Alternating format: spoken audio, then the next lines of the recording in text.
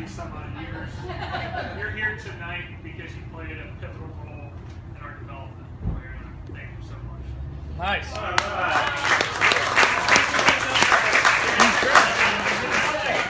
I'd like to make a few retorts to my father. You gotta, you gotta re- rebuttal. Wait a minute, wait a minute, I'm paying, you don't get a chance. Two, two, two quick.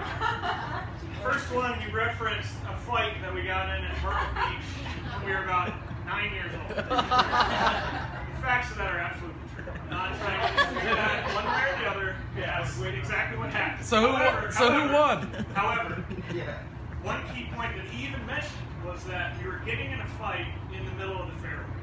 Uh, yeah. The reason we were able to assemble and get in a knockdown drag-out fight is because he was 80 yards in the woods.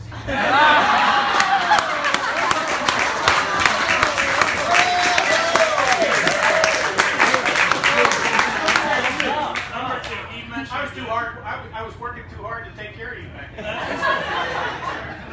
I feel round three point, coming brings me to on. Point number two.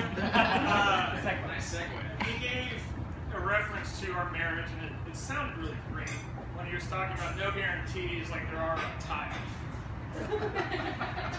I'm skeptical about that because I don't think you bought a new set of tires on a car in the last 20 years. You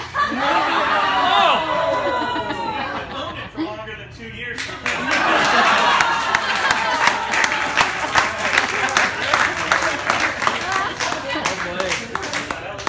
All jokes aside, everyone, thank you so much. Mother and father, put this beautiful ceremony on. We really appreciate it.